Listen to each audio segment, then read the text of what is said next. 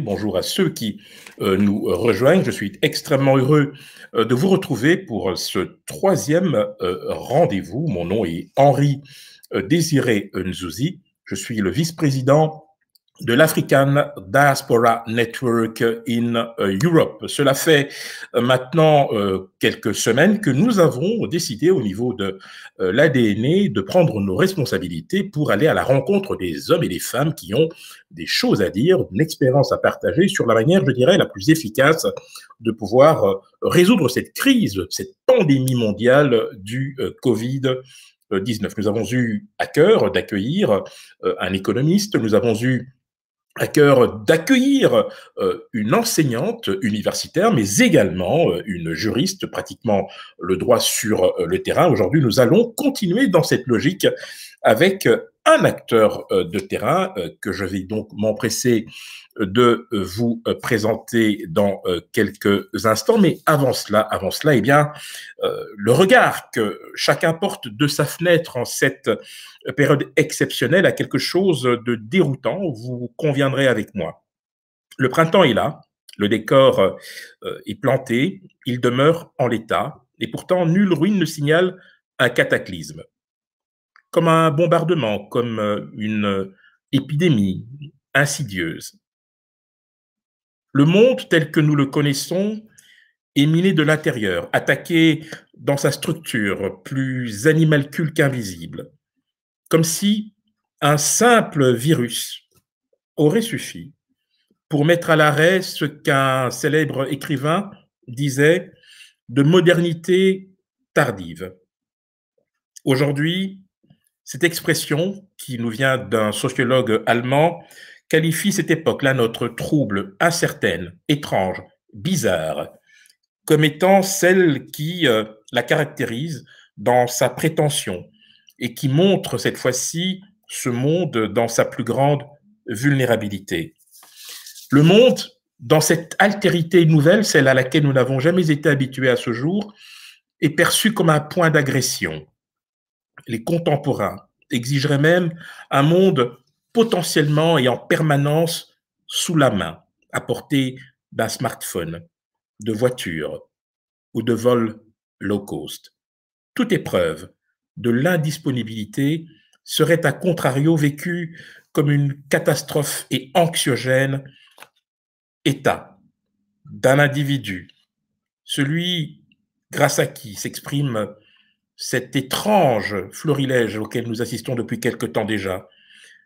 Aujourd'hui, cette épidémie a une ampleur qu'elle a, de manière incroyable, provoquée et face à laquelle, à l'heure actuelle, nous sommes désarmés, impuissants. Nous allons, au-delà de cette crise existentielle que chacun de nous est en droit de vivre, nous interroger au fond sur euh, les ressorts d'une telle situation.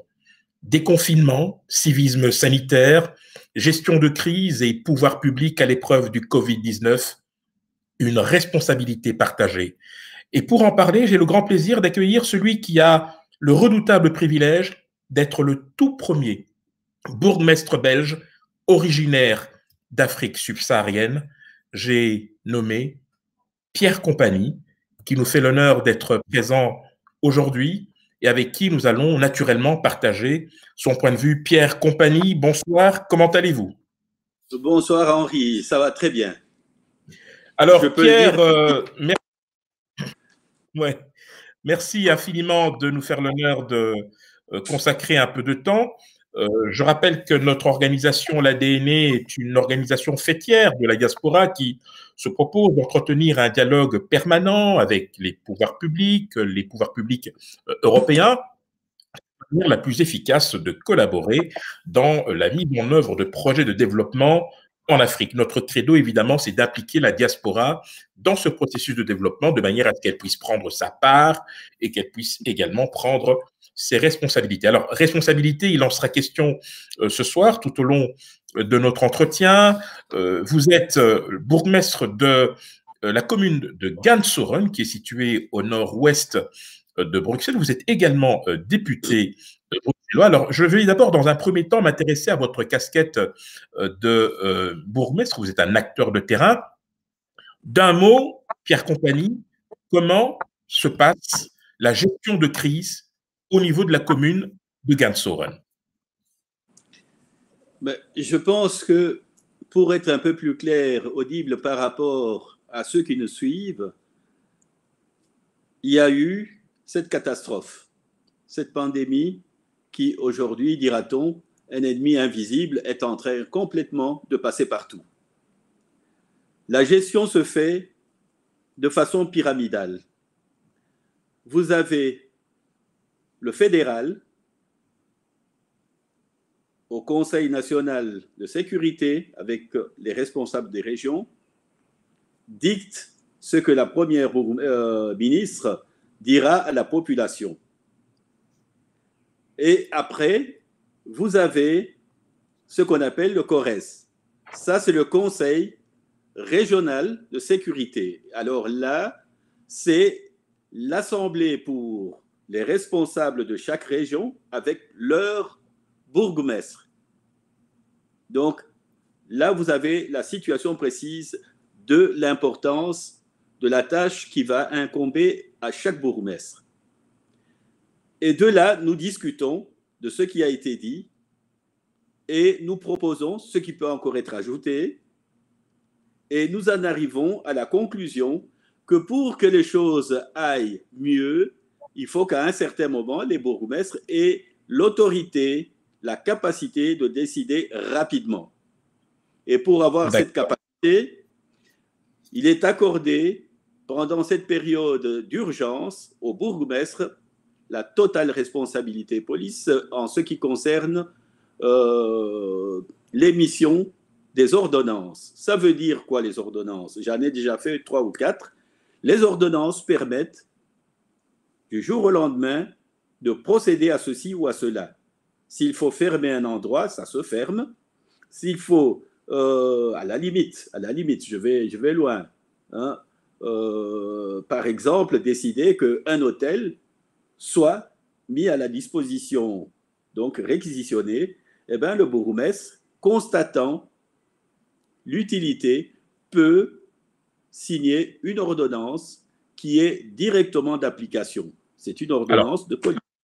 Alors, euh, pour être très précis, euh, Pierre Compagnie, on va quand même euh, regarder par le bout de la lorgnette à quoi ressemble une journée type d'un bourgmestre, en l'occurrence vous, en cette période de, confinement à Gansoren. Est-ce que vous êtes assis dans votre bureau, derrière votre ordi, vous êtes sur le terrain avec tous les acteurs, les médecins, les pompiers, les assistants sociaux? Comment tout cela s'organise à l'heure actuelle dans votre commune? Nous avons aussi une obligation, comme tout le monde, comme tous les citoyens et citoyennes belges, de respecter certaines mesures de précaution.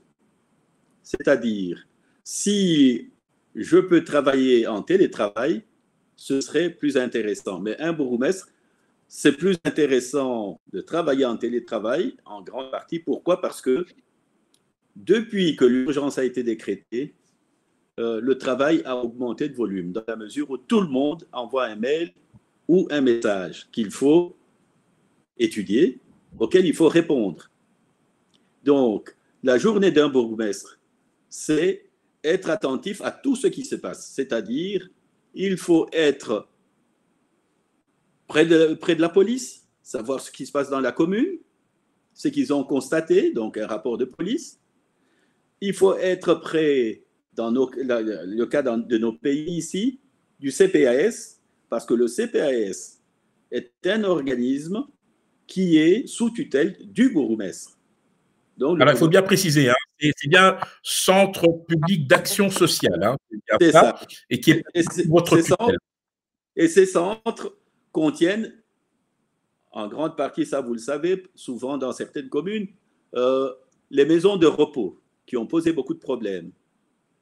Et tous les problèmes de société, c'est-à-dire ceux qui n'ont pas un emploi ou bien ceux qui sont menacés de ceci ou de cela, c'est le lieu où l'on se présente pour avoir un revenu euh, minimal d'intégration.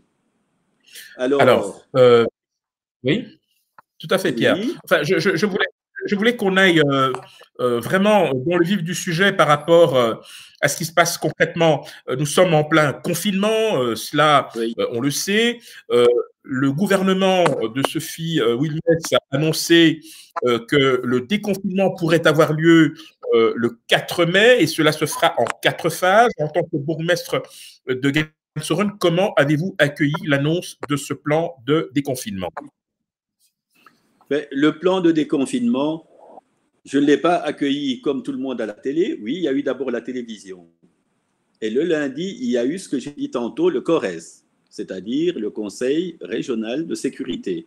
Et là, nous avons pu discuter et voir qu'est-ce qui est directement faisable. Il s'est dégagé, par exemple, que pour plus d'un, ben, on avait intérêt à insister sur, par exemple, la fabrication artisanale des masques. D'où les initiatives citoyennes. Effectivement, puisque vous parlez de masques. Oui, citoyennes, qui fleurissent et qui démontrent tout simplement, euh, comme j'avais entendu un jour dire que l'être humain est par nature social et solidaire. Et c'est ce qui se manifeste aujourd'hui sur le terrain. Euh, il suffit d'annoncer et vous avez les gens qui sont prêts à donner euh, de, leur, de leur temps et de leur énergie. Donc ça, ça a été la phase la plus, les plus importante, c'est ce fameux masque. Donc je peux le répéter des milliers mhm. fois. Quand le déconfinement arrive, les promenades dans les bus ou dans les lieux où sensiblement les gens peuvent être assez proches, il y a une obligation mhm. légale, du moins morale, de porter un masque. Mais vous, sur votre territoire, le territoire de votre commune, comment allez-vous faire respecter cette mesure? Déjà maintenant, pendant le confinement, la euh, mesure, euh, euh, il y a des mesures. Parce que je,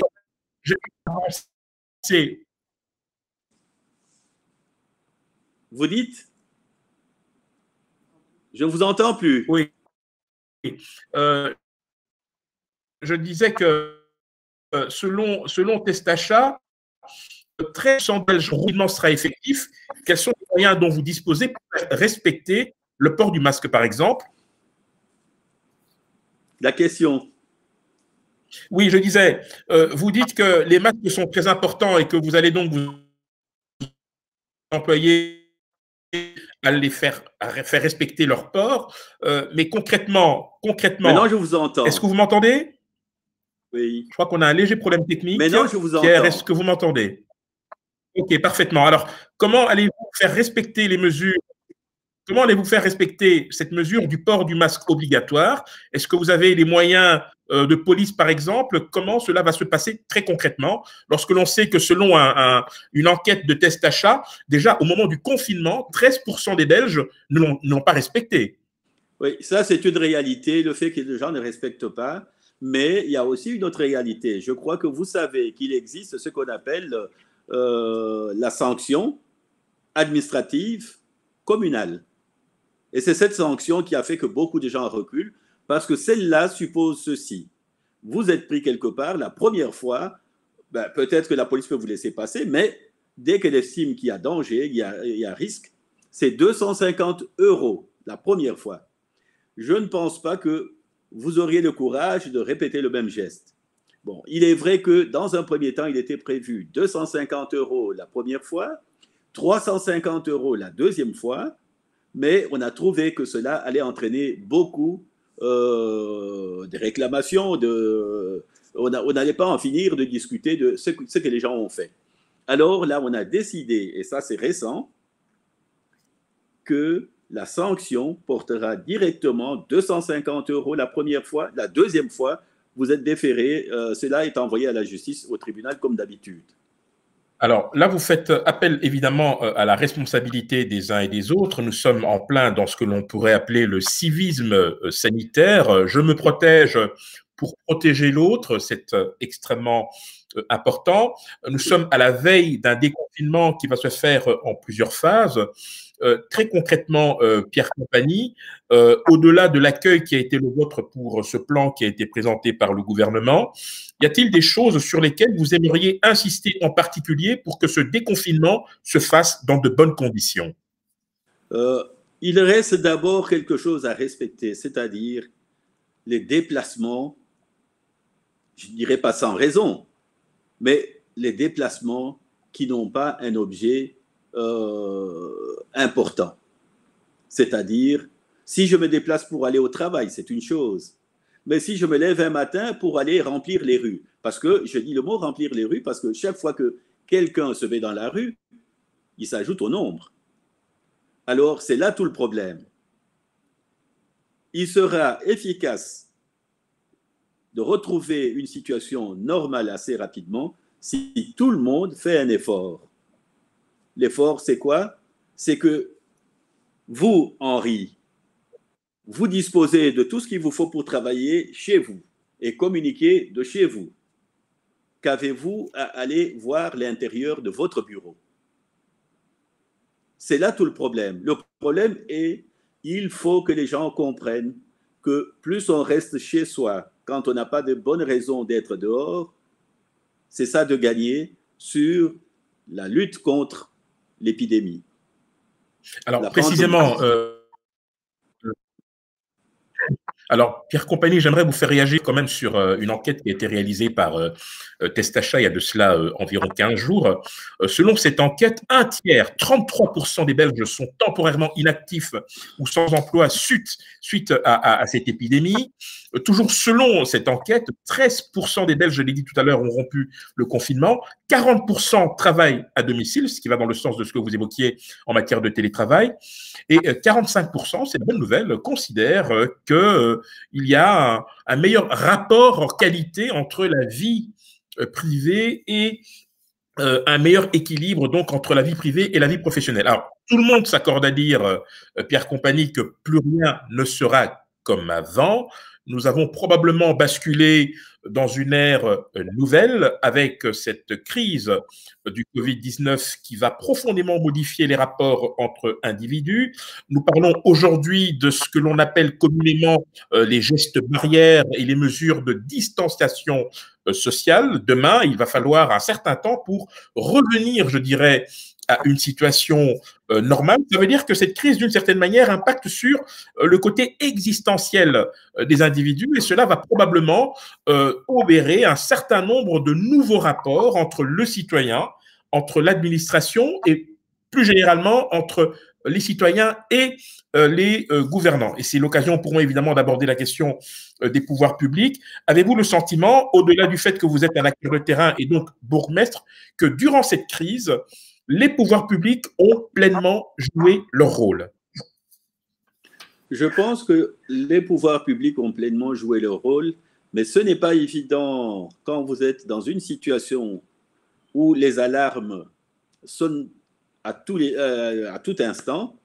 que les gens réalisent effectivement ce qui se passe de bien en leur faveur. Le gouvernement, tant que euh, les gouvernements, euh, le gouvernement national, euh, les, les, régionaux, les, régionaux les bourgmestres, il y a un travail de fond. Le travail de fond, c'est à chaque instant se poser la question que faut-il faire encore? Parce qu'on n'aura jamais fait assez. Alors, quand vous allez ajouter le phénomène qui provoque le basculement, c'est quand il y a des morts. Quand on annonce des morts, c'est un basculement total parce que là, euh, parfois, les gens y perdent leur raison. Euh, à tel point que on peut même à un moment constater qu'il n'y a plus de consultants en médecine, ben, peut-être autant de consultants en médecine que la population. Pourquoi? Alors précisément, la surcommunication n'a pas à un moment donné euh, créé de confusion dans l'esprit des citoyens, puisqu'on a vu effectivement beaucoup de gens prendre la parole sur un sujet qu'ils ne maîtrisaient pas forcément? Mais c'est ça le vrai problème. Mais nous sommes quand même dans une société humaine. Vous savez, euh, gérer euh, la vie humaine, c'est pas aussi évident qu'on puisse le penser. Euh, on n'a pas affaire à des robots auxquels on peut, à la limite, induire un comportement. Ici, les gens ont le droit de douter.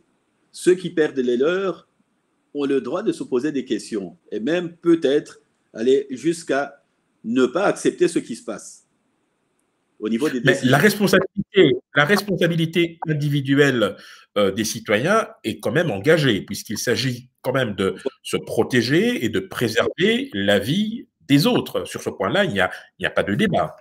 Euh, mais il ne devait pas y avoir de débat.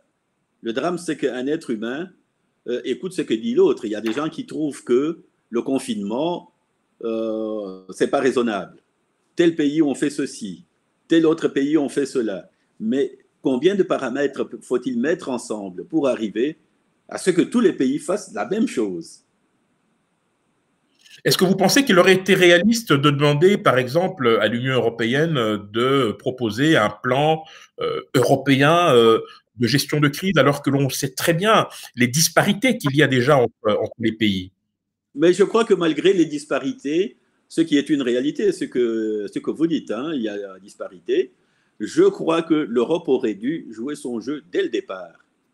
À la limite. Ça n'a pas été le cas. Ils auraient dû même se concentrer sur l'Italie dès le départ. Et on a bien vu ce qui s'est passé, euh, les atermoiements des, uns et des autres pour aller euh, à l'aide euh, ou comprendre ce qui se passe, jusqu'à ce que le phénomène a progressivement pris le pas sur les hésitations des uns et des autres. N'oubliez jamais. Chacun, chacun a été confronté à sa propre réalité, à ses propres problèmes. Est-ce que ce n'est pas une excuse acceptable? Non, le problème, c'est que chacun était confronté, ou du moins chacun pensait qu'il sera confronté au problème. Mais chacun n'avait pas les mêmes effets ou les mêmes dégâts qu'en Italie. Il a fallu que les dégâts arrivent pour que la conscience se réveille euh, violemment.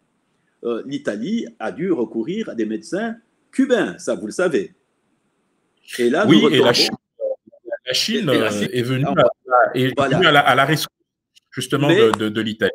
Ben oui, mais on n'a pas entendu euh, l'Europe ou bien les télévisions annoncer que les médecins cubains sont arrivés.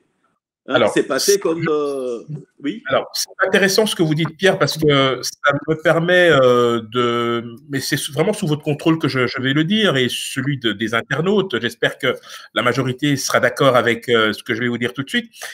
avec le recul, on peut d'une certaine manière considérer que cette crise pandémique du Covid a induit trois chocs. Un premier choc civilisationnel qui a, je dirais, un à la fois sur les valeurs. Euh, les Occidentaux euh, qui ont pris de très haut cette crise ont pointé du doigt la Chine très rapidement.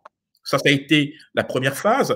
La crise existentielle, c'est évidemment euh, les comportements qui changent déjà aujourd'hui à l'aune des mesures de distanciation sociale et les mesures barrières. Et puis, il y a aussi une crise identitaire, puisque on voit très bien qu'il y a un repli sur soi parce qu'on ne peut plus compter sur les autres. Mais cela étant, dans la première phase dite civilisationnelle, le pays qui était pointé du doigt s'est progressivement mué en puissance géostratégique et géopolitique de cette crise, en l'occurrence la Chine qui n'a pas hésité à venir en aide à l'Italie face à une Europe impuissante, et cette Chine qui a déployé ce que l'on appelle communément maintenant une euh, diplomatie des masques en apportant son expertise dans la gestion de crise, notamment en Afrique, et cela, on y reviendra. Est-ce que vous êtes d'accord avec cela, Pierre Compagnie?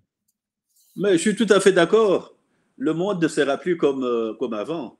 Je crois qu'il y a des gens qui peuvent dire tout ce qu'ils veulent, euh, ce serait la première fois qu'ils vont constater que, à un moment ou un autre, les gens doivent être capables de se parler, ne plus se parler du nord-sud ou du sud-nord, peu importe, mais se parler euh, à égalité, s'écouter.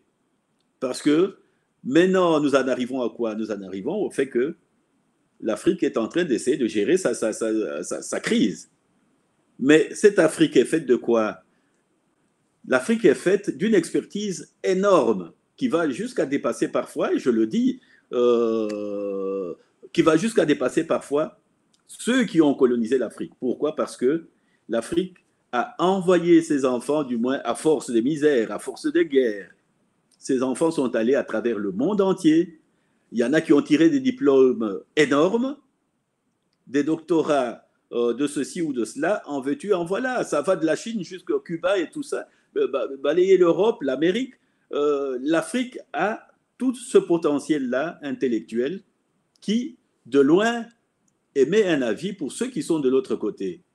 Contrairement à ce que l'on peut penser. Il y a des gens qui sont ici, qui communiquent avec ceux qui sont de l'autre côté et qui ont des, euh, des bases intellectuelles bien assises et qui savent de quoi ils parlent. Alors c'est là tout le problème de demain. Comment est-ce qu'on va envisager que les gens se parlent sans trop se cacher derrière celui qui fait les affaires et qui croit que ces affaires sont inconnues Voilà, c'est ça Alors, de demain. Mais alors, il y a un autre problème, Pierre, j'aimerais vous faire réagir là-dessus. Euh, Pierre Compagnie, euh, on le voit depuis le début de cette crise, l'Afrique semble relativement épargnée. Euh, moins de 2000 morts sur un total de près de 35 000 personnes, en tout cas considérées comme atteintes par le coronavirus. C'est un chiffre hallucinant hein, quand on sait qu'à l'heure actuelle dans le monde, on est à près de 250 000 morts. Ça veut dire que nous avons quand même, le rapport est de 1 à 100, ce qui est incroyable et ce qui malheureusement a vu fleurir ce que j'appelle des euh, prophètes de malheur qui prédisent euh, une Afrique chaotique, incapable de se sortir économiquement et d'un point de vue sanitaire de cette crise. À quoi vous attribuez cet acharnement à vouloir coûte que coûte, me semble-t-il, même si on est conscient du fait que l'Afrique a beaucoup d'insuffisances et beaucoup d'efforts à faire pour mettre à niveau son système sanitaire, mais à quoi attribuez-vous cette vague de pessimisme à l'encontre de l'Afrique qui semble pour le moment relativement épargnée par la pandémie du Covid-19 Oui, mais ce type de pessimisme a parfois, j'oserais dire, double, euh, double origine. Vous avez un pessimisme idiot et vous avez un pessimisme intéressé. Celui qui est intéressé, vous imaginez bien, il est intéressé par quoi? Les affaires. Le pessimisme idiot, c'est celui qui part de l'idée que euh, depuis les colonisations, rien n'a changé. Euh, et qui part de l'idée que l'Afrique, ben, rien de bon ne s'y fait.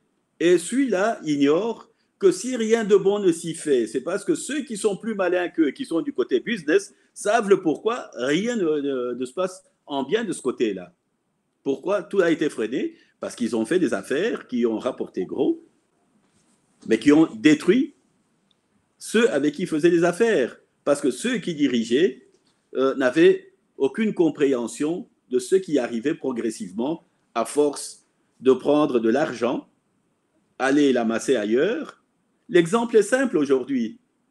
Aujourd'hui, je vois qu'on vante un hôpital et un petit euh, dispensaire, on le vante, que quelqu'un a fait ça, mais on aurait pu avoir en Afrique des milliers, des milliers d'hôpitaux.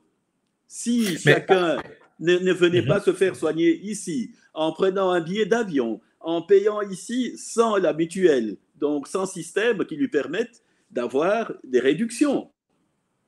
Il y a des gens qui ont dépensé des sommes folles dans ce pays, dans, tous ces pays d'Europe, même en Amérique. Ils ont acheté des maisons qui ont été euh, bradées par la suite parce qu'ils ne savaient plus payer, euh, dès qu'ils n'étaient plus euh, au pouvoir, ils ne savaient plus payer le cadastre et ainsi de suite. Et les enchères arrivaient, ben, les mêmes qui t'ont vendu rachètent ça presque pour rien.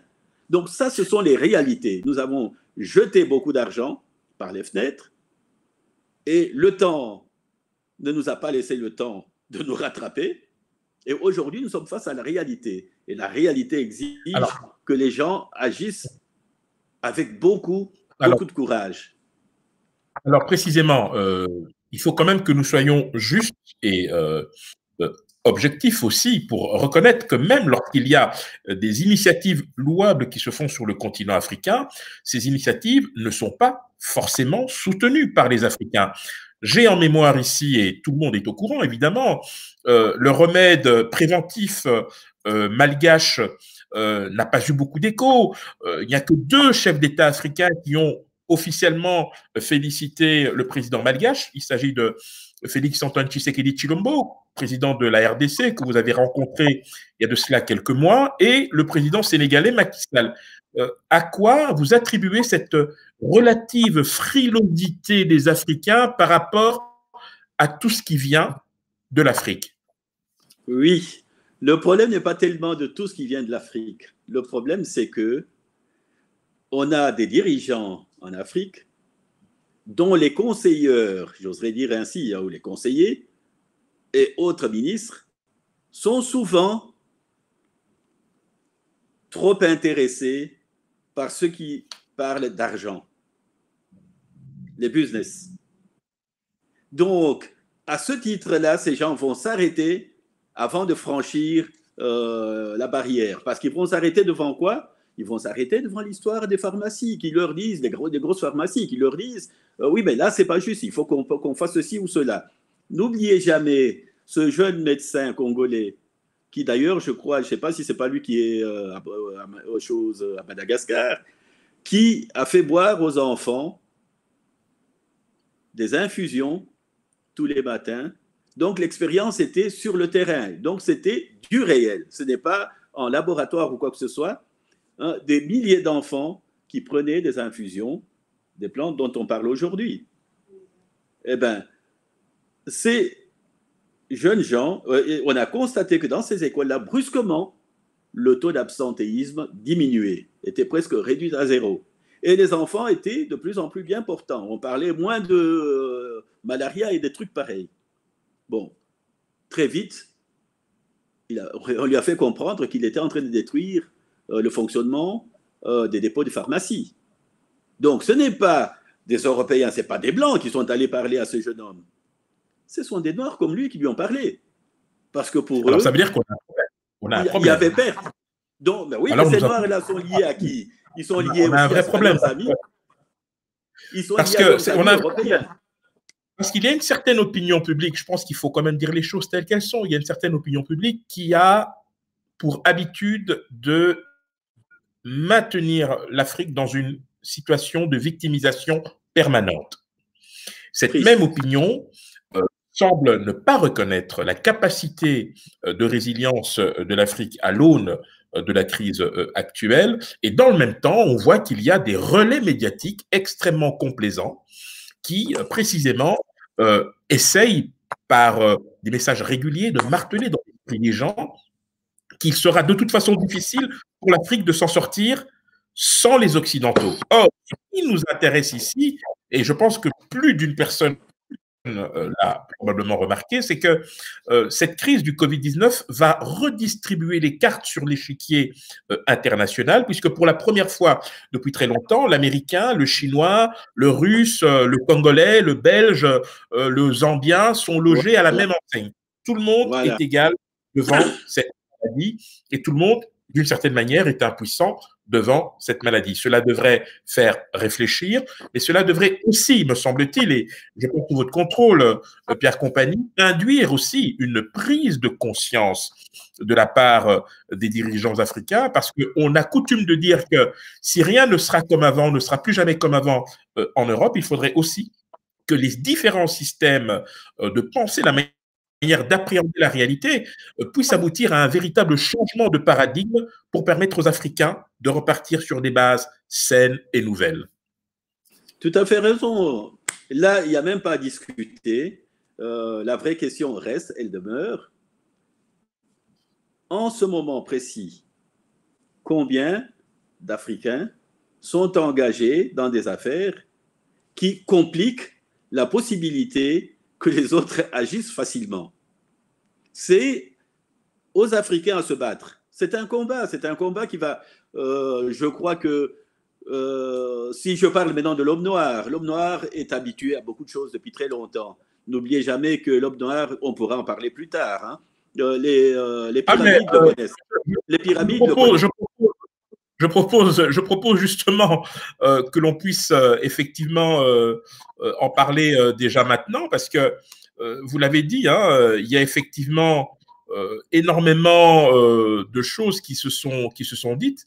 Il y a aussi des réalités qui sont parfois, je dirais, euh, difficiles à euh, accepter. Et je voudrais euh, partager avec vous une vidéo que vous avez gentiment donc demandé de, faire passer. Nos amis internautes vont pouvoir s'en rendre compte et ça, montre au fond, d'une certaine manière, toute la difficulté de pouvoir préserver une forme de dialogue à la fois franc et constructif entre, je dirais, les, les Occidentaux et euh, les, les Africains. Je, je, vous montre cette, cette vidéo intéressante qui dure à peu près deux minutes. On va la regarder jusqu'à son terme.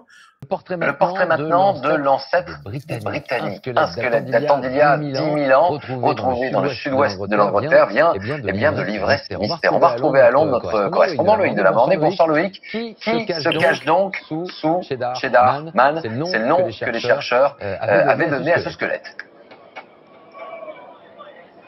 Oui, Laurent, vous allez comprendre dans quelques instants pourquoi il est surnommé ainsi. Chedarman, en tout cas, c'est effectivement l'ancêtre des Britanniques, c'est le plus vieux squelette complet jamais retrouvé ici au Royaume-Uni. Il a 10 000 ans, il était déjà connu, mais ces derniers jours, une nouvelle analyse scientifique qui vient de bouleverser certaines idées reçues, occasionnant aussi dans le pays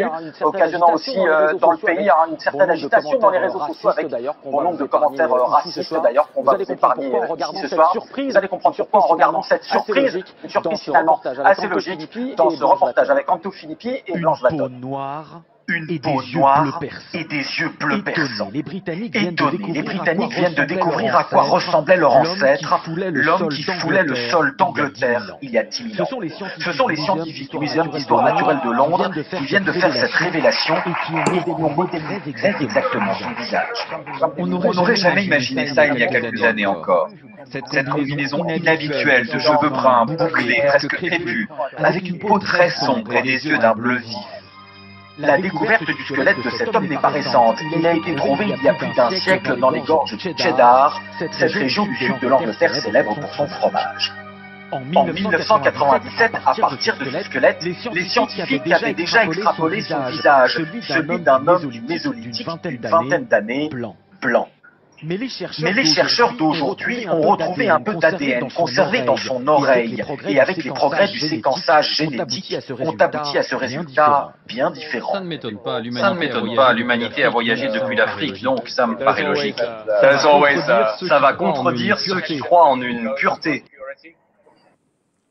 which never exists. Which never exists. en regardant cette photo, je pense quand même que déjà à l'époque, venu d'ailleurs dans le monde, venu d'ailleurs dans le monde, je ne pense pas qu'il soit né comme ça ici à Londres. Selon les scientifiques, selon les scientifiques, Chedarman est bien né noir sur le sol anglais. La généralisation de la peau blanche serait intervenue plus tard avec des vagues d'immigration plus récentes venues d'Europe du Nord. Alors, Pierre, euh, vous souhaitiez euh, voir, en tout cas, que l'on puisse voir ensemble cet, élément-là. Alors, vous allez peut-être euh, aiguiser la curiosité de ceux qui nous suivent. Pourquoi avez-vous tenu à ce que nous puissions revoir cette séquence? Euh, Si j'ai insisté qu'on puisse la voir, c'est tout simplement parce que ici, vous me parlez de l'Afrique, hein nous parlons de l'Afrique, donc des peuples noirs, des peuples arabes. que se passe-t-il réellement dans la tête de certains noirs? Aussi simple que ça. Ils en sont simplement à la décolonisation, des batailles de, décolonisation. Ils en sont simplement euh, au moment où on a pris leur pays en otage pour la colonisation. Ils en sont seulement à l'esclavage.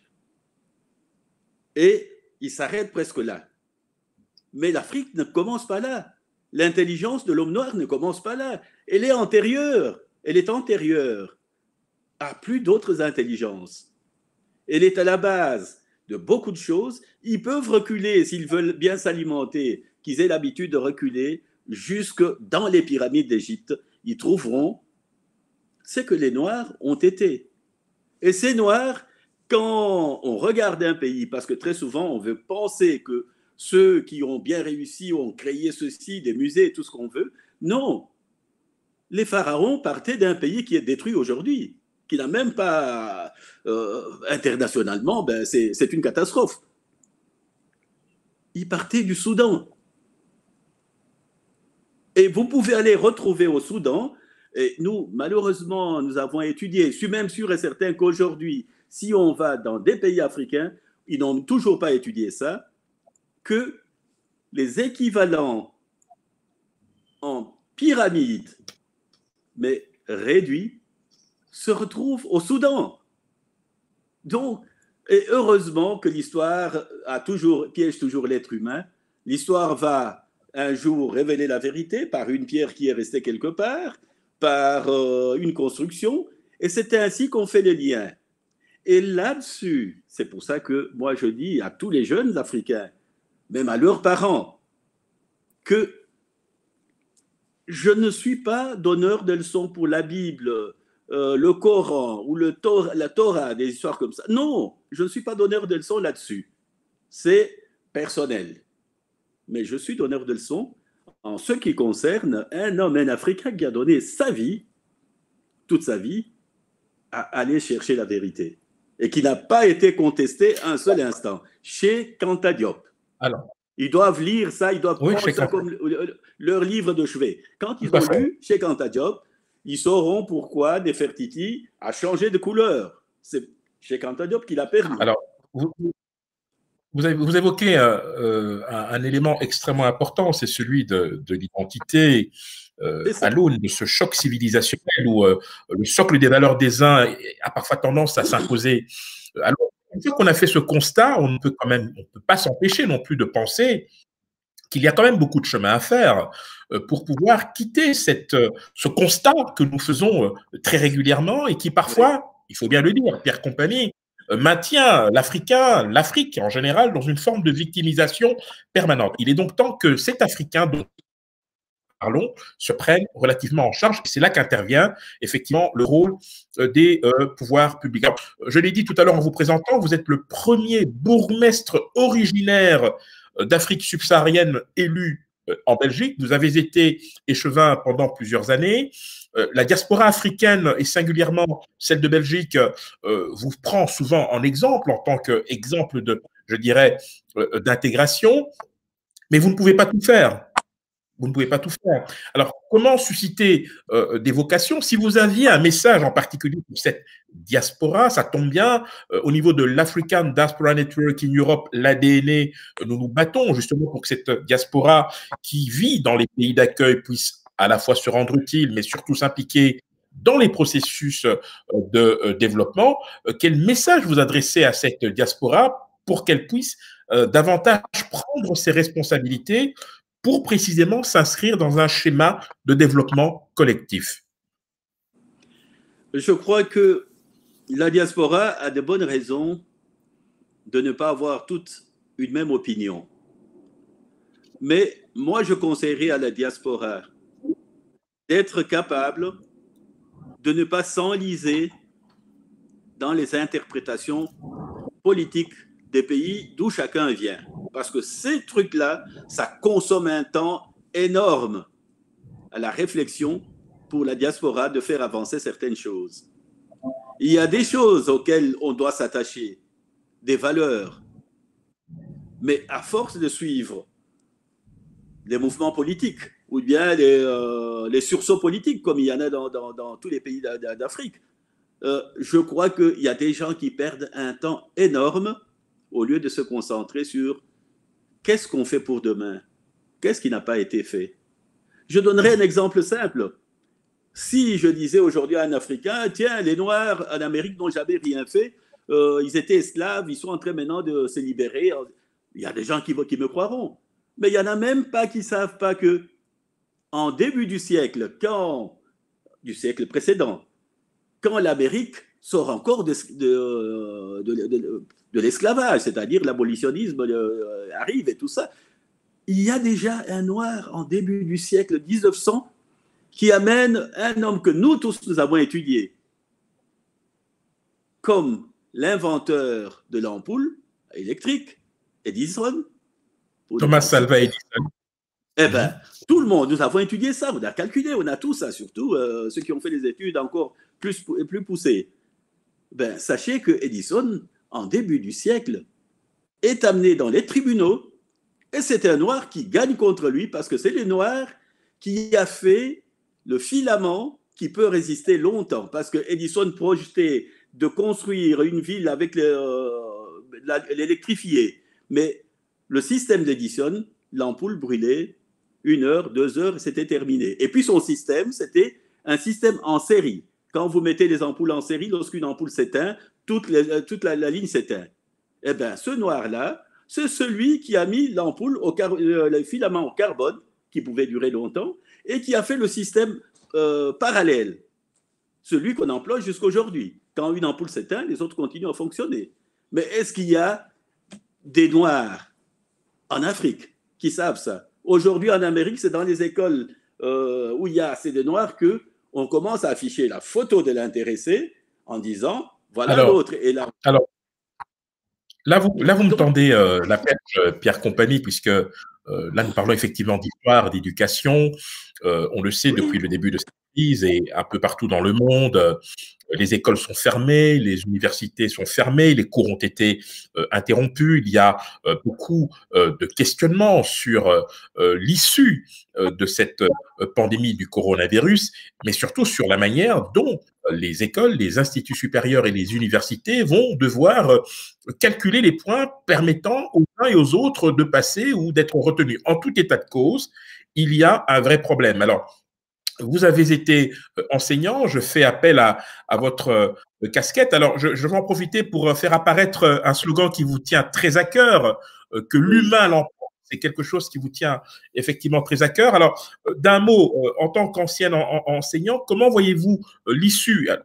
Parler de la Belgique évidemment, mais je crois savoir que beaucoup de pays sont logés à la même enseigne de ce point de vue-là. Comment résoudre le casse-tête du système éducatif?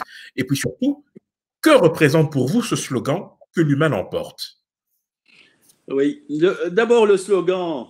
Ce slogan, c'est pour dire qu'à tout instant de la vie, il n'y a rien qui puisse dépasser la valeur humaine.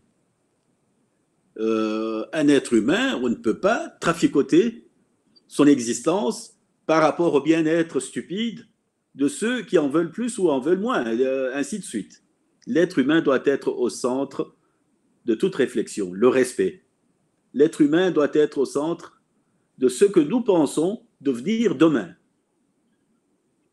Alors, on peut commencer. Alors, quant à l'enseignement, je pars de l'idée que peut-être les gens me trouveront un peu plus... Euh, bah, j'ai été peut-être un peu révolutionnaire quand j'étais jeune, ça m'a coûté euh, euh, quelques temps d'enfermement chez Mobutu, mais je crois sincèrement s'il y avait une guerre tout de suite là, des bombes qui tombent à gauche, à droite, est-ce que les gens se poseraient autant de questions euh, de salon pour savoir comment on va avoir des points, comment qui, vont passer, qui vont.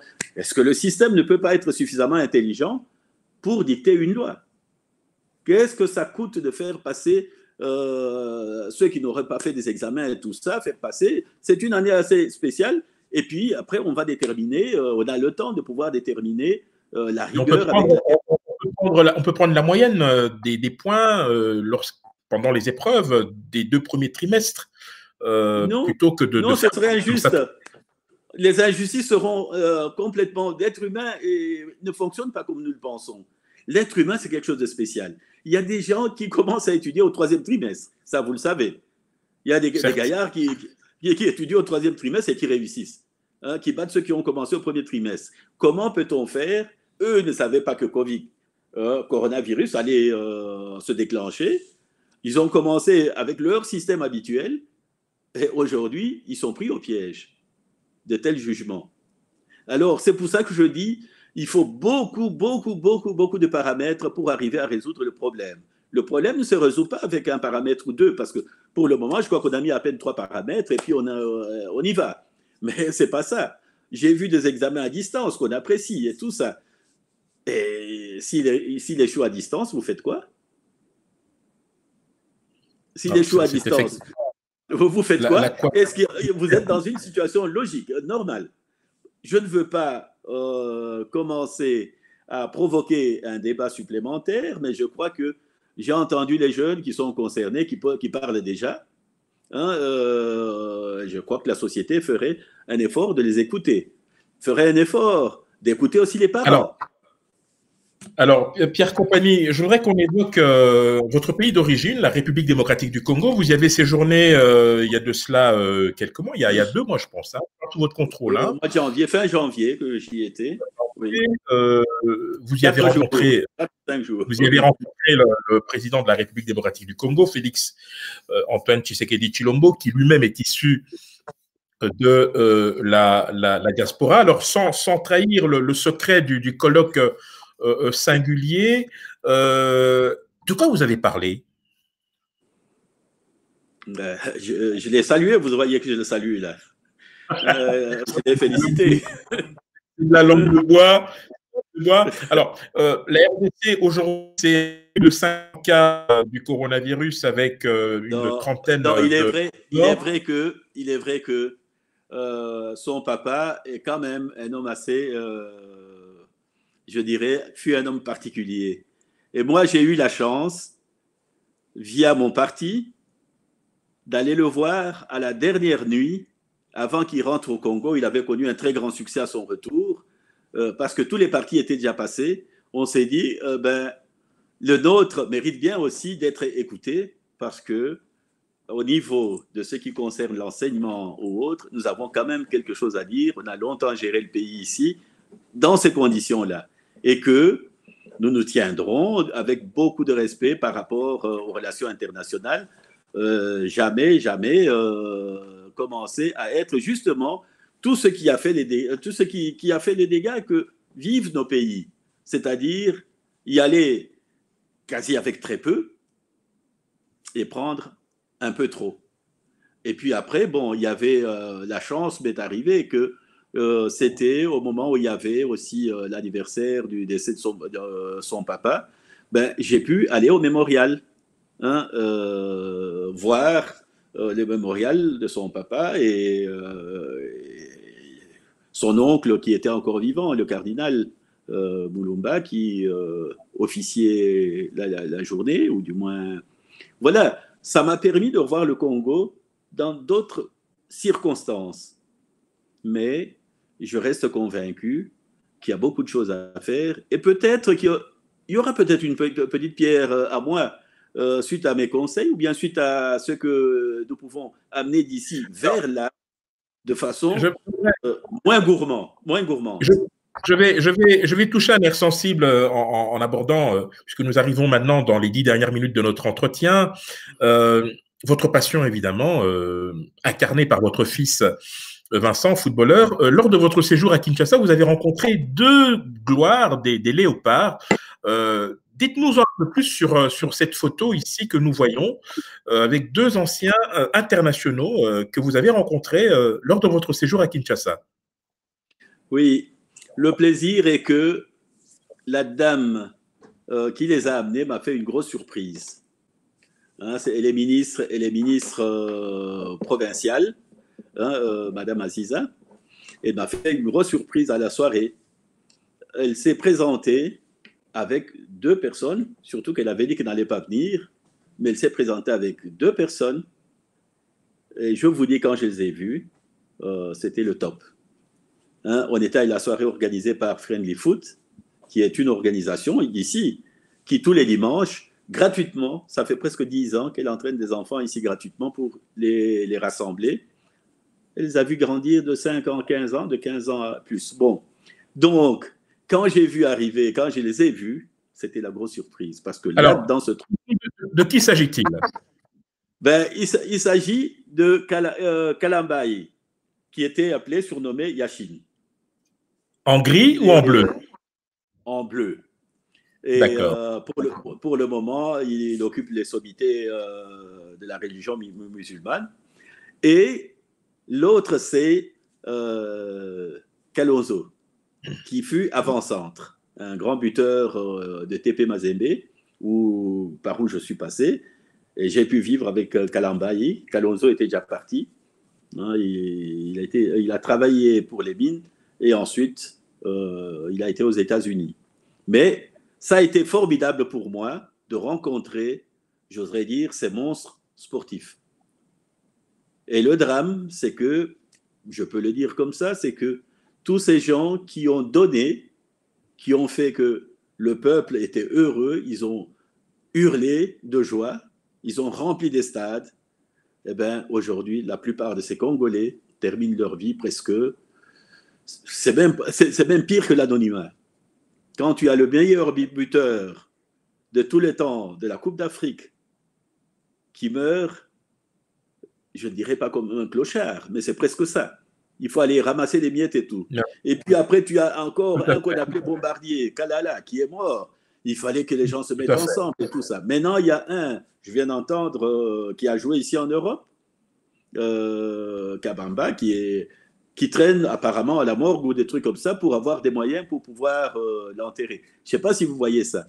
Alors, c'est pour ça que j'ai trouvé que les jeunes ici en Europe, qui ont organisé un groupe qui va de temps en temps pêcher un des anciens avec leurs petits moyens pour lui donner encore un peu plus la, joie de vivre, jusqu'à construire des petites maisons pour eux. Dernièrement, on a reçu ici Lobilo, qui fut un défenseur, euh, qui a joué à Vita Club et tout ça, un grand joueur, et équipe nationale.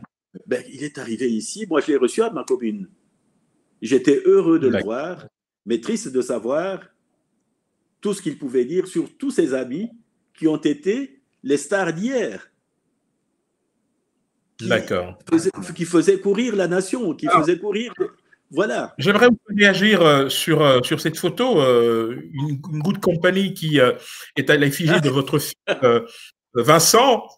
Oui. connu pour, pour son talent. On sait qu'il a, il a quitté Manchester City, il a pris les rênes du Royal club de, d'Anderlecht, euh, qui s'illustre aussi beaucoup, beaucoup dans l'associatif, euh, tant il a posé des actes de générosité euh, durant sa carrière et cela continue. Alors, je voudrais qu'on parle un peu de, du football ici euh, euh, en, Belgique, avec cette crise du coronavirus qui, bien évidemment, suscite beaucoup d'interrogations quant à la poursuite, notamment du, championnat. vous êtes bien informé sur ce qui se passe au niveau footballistique. Quel est votre sentiment Que va-t-il se passer dans les prochaines semaines par rapport à ce championnat? Va-t-on l'interrompre ou bien le poursuivre? Mais brièvement, brièvement, euh, comme je ne suis pas, euh, je ne suis pas dans les mêmes salons que ceux qui décident. Euh, je, suis du côté politique. Mais brièvement, je vous dirai, parce que vous avez cité mon fils Vincent pour ce qu'il fait, je, je dirais ici, à haute voix, qu'à Kinshasa, vous avez un home avec SOS Village euh, sous le parrainage de Vincent, participation de Vincent, 150 enfants sont élevés là-dedans depuis, euh, j'y ai été à l'inauguration, 2013. Donc, certains aujourd'hui rentrent à l'université ou terminent les humanités. Ça, c'est de 1. Et ici, les machines à coudre qui ont implémenté les machines pour la production des masques que j'appelle maintenant euh, made in Gansoren. Vincent nous a donné des machines, une dizaine de machines, pour accélérer. Donc, il y a plus d'une chose, sans compter l'équipe de football euh, qu'il maintient ici, avec plus de 1200 enfants. Pour ces enfants, profitent de la même éducation, la même rigueur, avec une chance que demain, ils parlent le même langage. Voilà. Maintenant, quant, au championnat, euh, le championnat, c'est pas aussi évident que ça. Parce que je n'en sais rien, dirais-je. Je sais que quand André Lecte a commencé à s'entraîner, euh, comme vous connaissez, moi je ne vais pas le répéter ici, le nom de Vincent, il est plus intéressant de le citer en bien comme en mal. Hein, euh, et il garde toujours une sympathie de beaucoup de gens. Et les grands-pères, les grands-mères l'aiment bien quand Anderlecht a repris les entraînements en respectant toutes les règles, toutes les mesures pour éviter la propagation du, du virus, ben, tout de suite, Anderlecht a connu euh, un contrôle d'inspecteurs des, des inspecteurs euh, de santé. Et pourtant, sachez qu'il y a des clubs qui n'ont jamais arrêté malgré tout ça. Il y a des clubs qui se sont entraînés, mais pas euh, en vrac, mais en respectant certaines choses et tout ça. Mais ces clubs, on on les a pas vus annoncer dans des journaux. Vous voyez, euh, donc d'où la difficulté aujourd'hui de te dire euh, par rapport à Anderlecht, par rapport au championnat, qu'est-ce qui en adviendra demain? Parce que je crois que ils doivent encore se réunir incessamment pour dire. Alors, Précisément, euh, Pierre, nous, allons euh, petit à petit euh, cheminer vers la fin de notre entretien. Je voudrais qu'on évoque d'un mot votre travail parlementaire au, sein du Parlement régional bruxellois, dont vous êtes l'un des élus. quel a été le rôle du Parlement bruxellois durant toute la gestion de, cette crise du coronavirus? Oui, un rôle un rôle très important le nombre de questions qui sont posées, les rigueurs qui sont exigées au ministre par le Parlement sont telles que euh, je crois, ici il s'agit de la région, mais beaucoup de dirigeants dans nos pays d'Afrique s'en inspireraient. Euh, on n'est pas dans la délation, on n'est pas dans du bruit pour de bruit, on est dans des choses précises. Chacun propose, chacun se bat et ceux qui dirigent assument à un moment déjà doivent savoir que ceux qui dirigent ont la, responsabilité d'assumer la voie à suivre.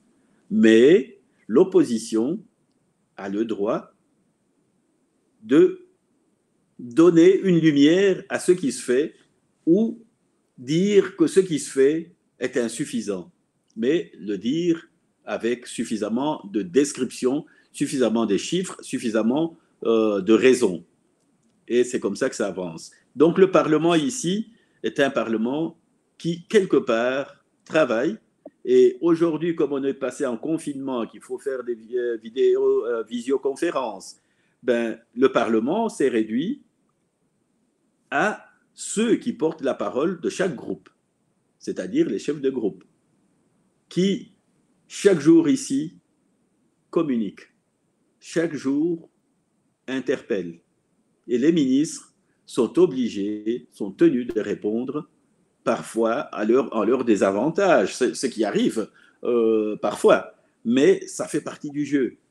Donc, le Parlement est bien installé et euh, quand il a fallu accorder les pouvoirs spéciaux, nous étions tous là pour voter dans des salles tout à fait différentes pour éviter euh, la promiscuité, euh, je crois que le Parlement travaille sérieusement. Et tous les groupes reçoivent en retour tout ce qui se passe euh, au niveau du Parlement. Alors, je voudrais qu'on revienne sur euh, la commune de Gansoren qui vous est très chère.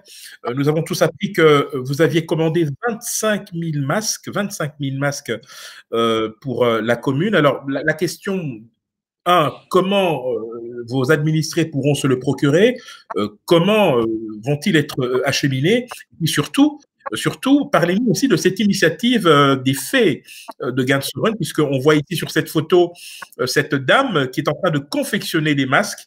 Racontez-nous un peu comment tout cela se passe actuellement sur votre commune.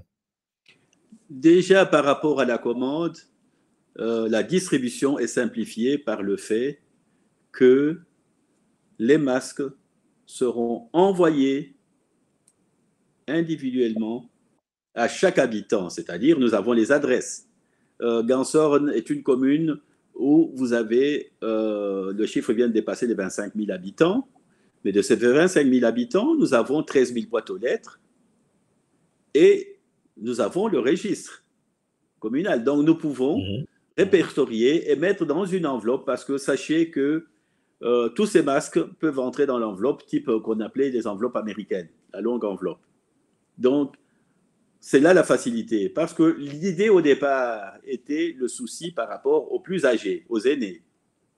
On s'était dit, ben, peut-être à partir de 65 ans, comme ça se fait dans certaines communes, hein, euh, leur offrir et puis tout ça. Mais quand on a fait la commande et qu'elle était simplifiée et que elle ne viendra pas de loin, elle vient d'une commune qui n'est pas loin d'ici.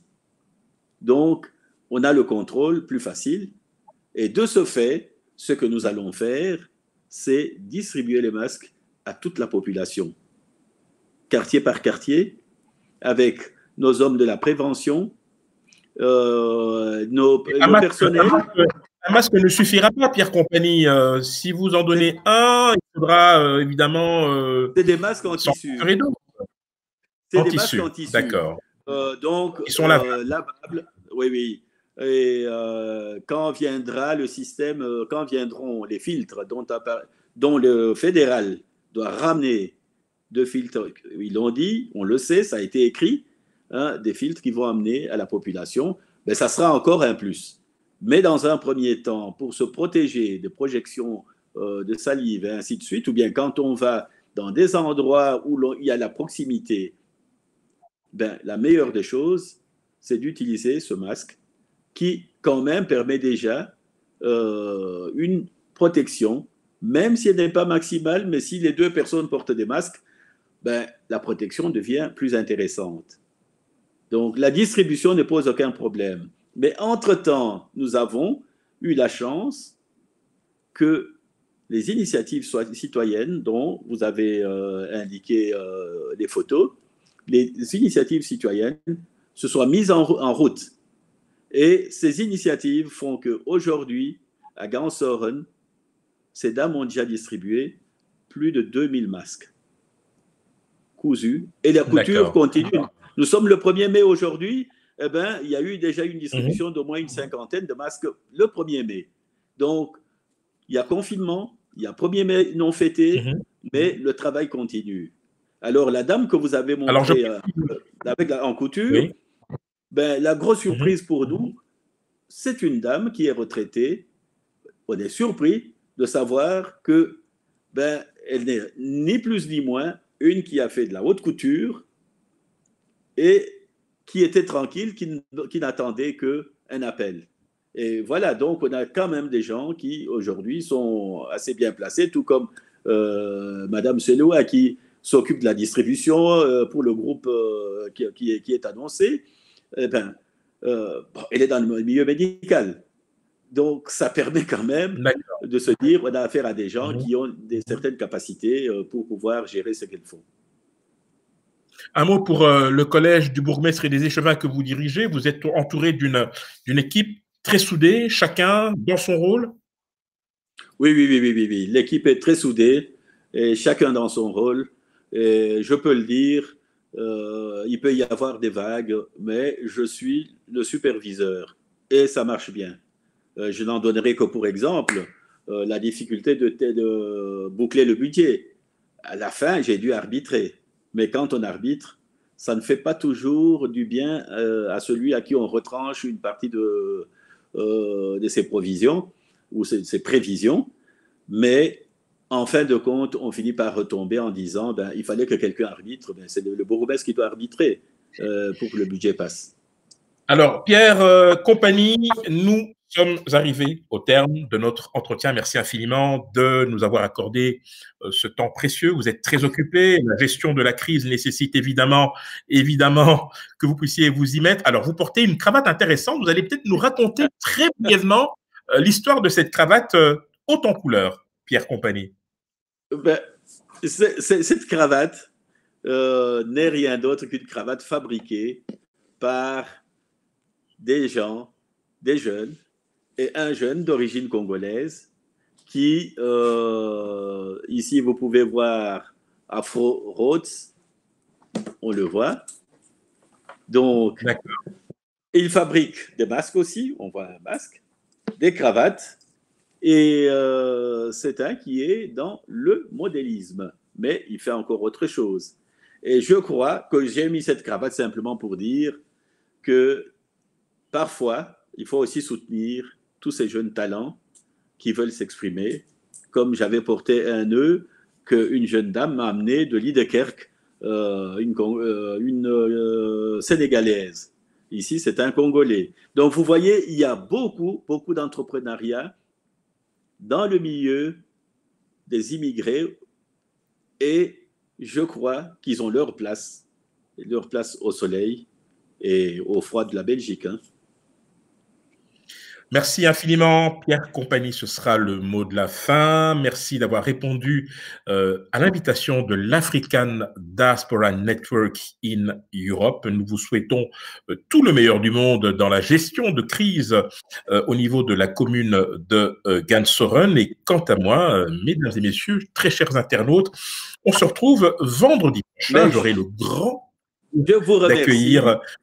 Je vous remercie. Pas de souci.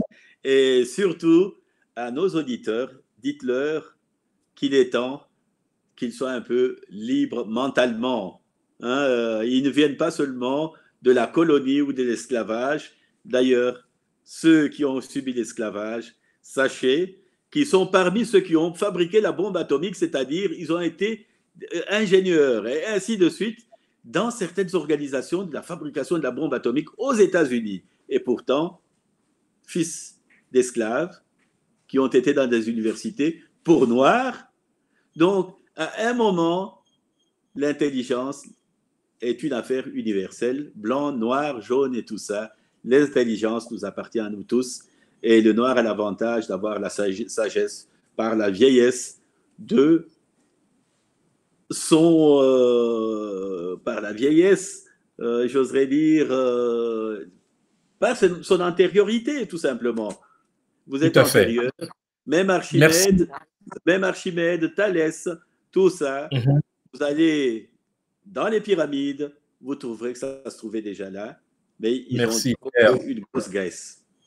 Ok, merci. Merci infiniment, Pierre, euh, ces sages paroles qui viennent conclure euh, ici donc notre entretien. Merci infiniment. Merci à vous, euh, amis internautes, où que vous soyez dans votre zone géographique. On se retrouve la semaine prochaine, mais déjà demain, un rendez-vous avec l'une de mes collègues pour la partie anglophone de notre programme ADNE Weekly Live. On se retrouve également la semaine prochaine, dès jeudi, vendredi et samedi pour la suite. À très bientôt. Henri, sais-tu que dans ce pays en Belgique, aux années 1900, début du siècle, un Congolais pris au Congo, adopté ici. Voilà, qu'il était sorti. Ça, ça, va faire l'objet d'une il est sorti une autre émission, cher Pierre. Oui, ingénieur, ingénieur Tout à fait. Avec la plus grande distinction, qu'il le sache. Et pourquoi Absolument. Il a pas Merci pour ce rappel. Merci pour ce rappel euh, historique. Merci. Merci.